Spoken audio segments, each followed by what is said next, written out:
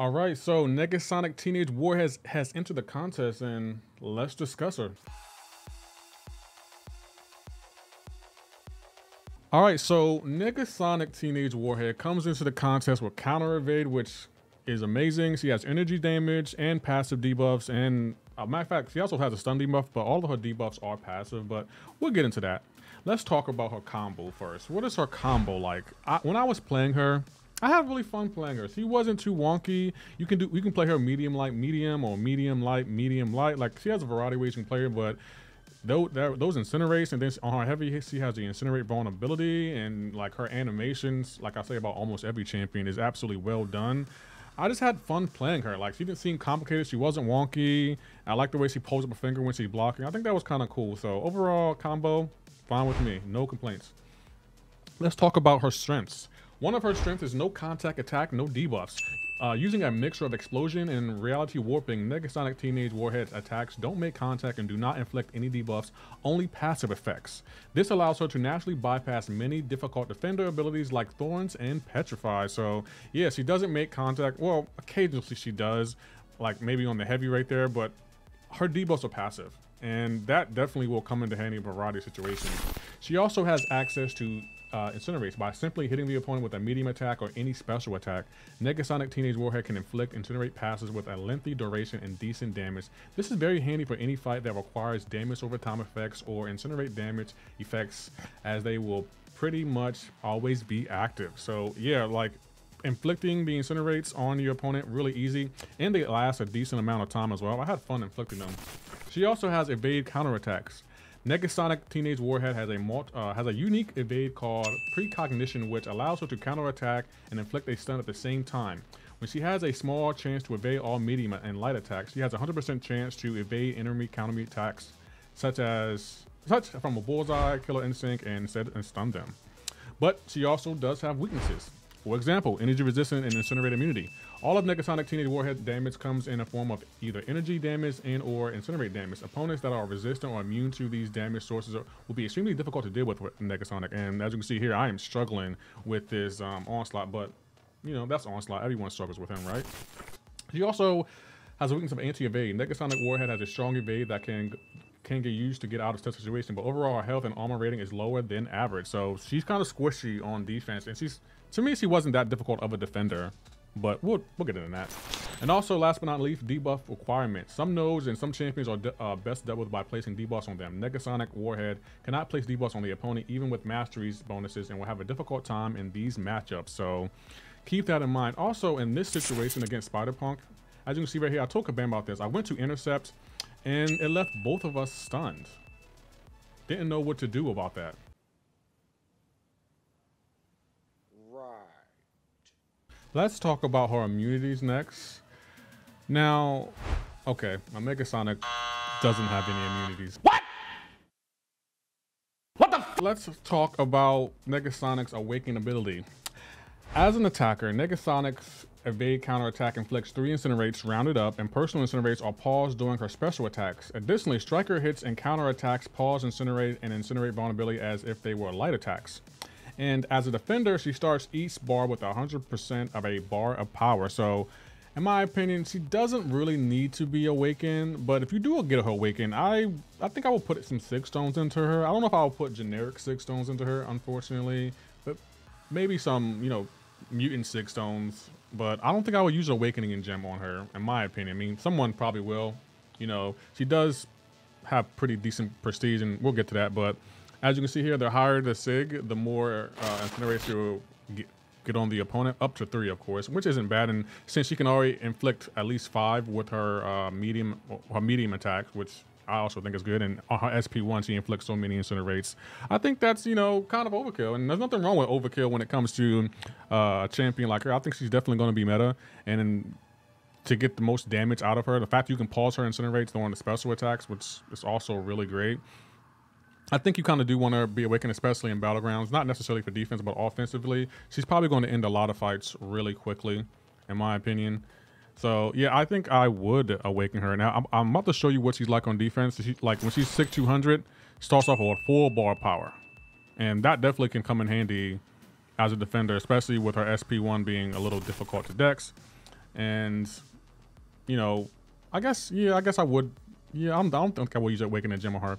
Her prestige is 18,270, so she has really, really good prestige, in my opinion. I don't know if it's top five or anything, but that's pretty decent. But Kabam has been releasing a lot of prestige heavy champions. I don't think many people have been focusing on prestige as of lately, so maybe prestige is a thing of the past. Who knows? Let's talk about her synergies. Now, I will admit, her synergies, they kind of were lackluster to me. Like she has one with Deadpool, all uh, all champions gain plus 130 armor rating. One with Emma Frost, all champions gain plus 4% health and attack rating. With Chilif, Hulkling, Wiccan, America Chavez, all champions gain 90 rating and all that kind of stuff. The synergy I liked were the one with Human Torch, Phoenix, Moon Knight, Moon Knight, and Dragon. Doctor Strange, excuse me. While below 5% health, the chance to evade medium and light attacks with Precognition becomes 100% until an evade is activated, so it's okay.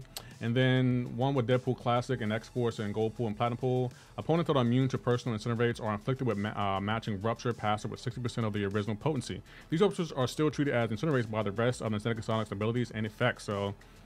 Her synergies, eh, yeah, I, I'm a little lackluster for me, but I'm pretty sure people won't use her for her synergies. Let's talk about her on defense. On defense, she can be a little bit tricky because her attacks are non-contact. So she's going to be uh, difficult to parry, but since he doesn't really have any synergies, she's going to get melted by almost any champion, to be honest. Like, you can just melt her, just out, uh, outspace her synergies. You can even melt her with um incinerates, but be careful with that um precognition because she will evade. So that evade can be kind of annoying. So the fact that you can't parry her consistently and she can evade may make her a little tricky of a defender, but I don't think she's going to be a challenging defender. She's basically, any champion will pretty much nuke her. As you can see right here, I'm using Hercules. You're going to be able to nuke her, and that's it. Like, she's not, to me, she's not challenging, but she, with parry being the way it is, you may think your parry's failing when in fact you can't parry her at all, and her debuffs are passive, so, hmm, we'll see. All right, for stat focus, I wasn't sure what stat focus to put on her. I instead went with uh, special damage for offense and defense because, you know, of the incinerates, and you can really maximize all of her damage piling on with the incinerate and vulnerability.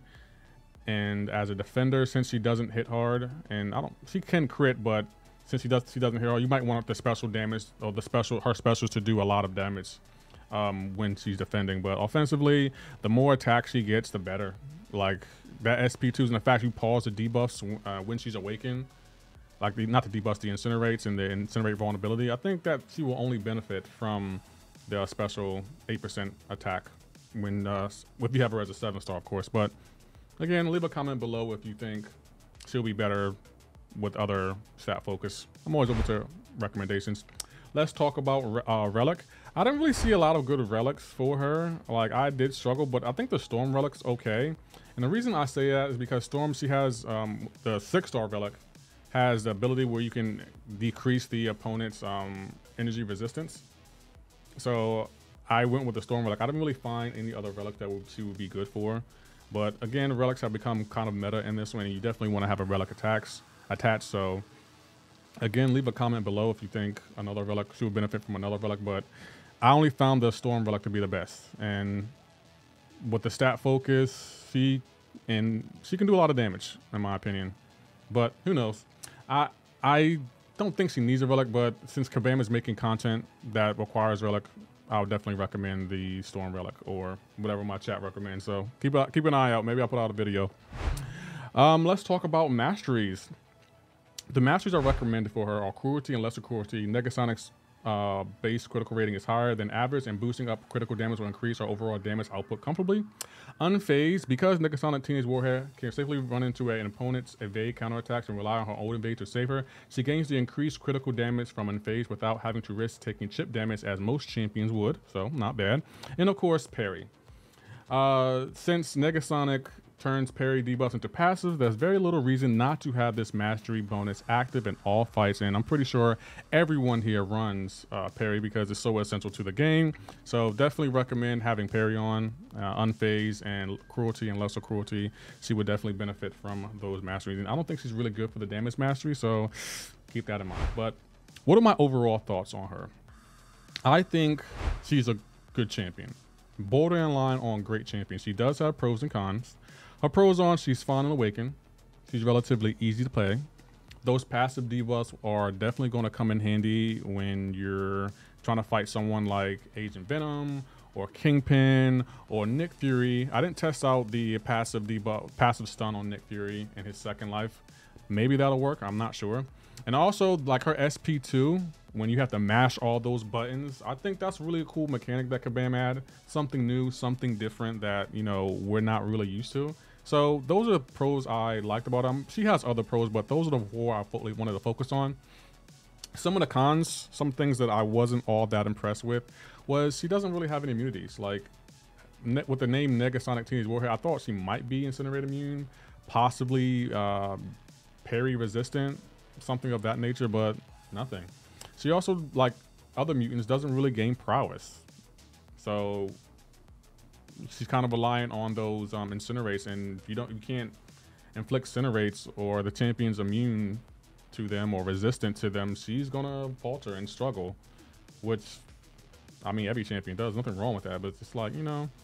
And she also has really lackluster synergies. Like I kind of expected better synergy. Maybe different synergies. I don't know. Like I don't know if I've seen um, a synergy with Colossus. Maybe she does have one. I thought that would be kind of cool, but she does. Oh, she does have a synergy with Colossus. You get perfect block chance, but eh, I I just expect better synergies from her.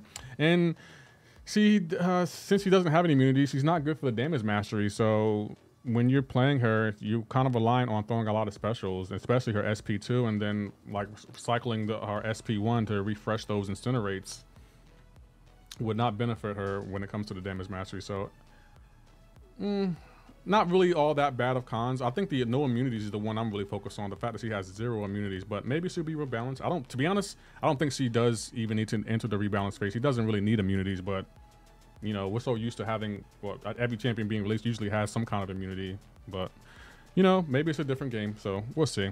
But overall, I do like her. I think she's a solid champion, and I do want her as a six and seven star. If you did like this video, please hit that like button. And for anyone new here, if you can hit that subscribe button, I'd really appreciate it. Y'all take care. Have a great and wonderful day.